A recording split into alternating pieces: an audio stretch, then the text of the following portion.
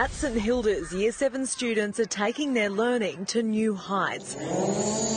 Going above and beyond, putting in extra hours after class to learn new skills in the Drone Flying Academy. Well, it's giving them the skills and, and opportunities to um, have some industry recognised skills that they can take and take outside of schooling. First, students are given lessons about the drone industry. They learn the basics around the CASA regulations and the rules and how to use them effectively and ethically.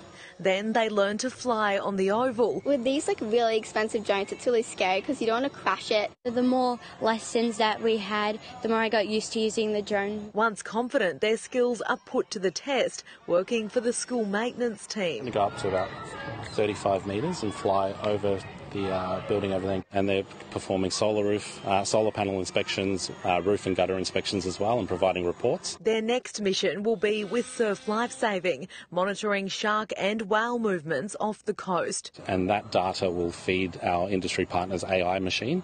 Um, and it's just a way of keeping our coast safer. With skills that'll help the schoolgirls well into the future. Carly Madsen, 7 Gold Coast News.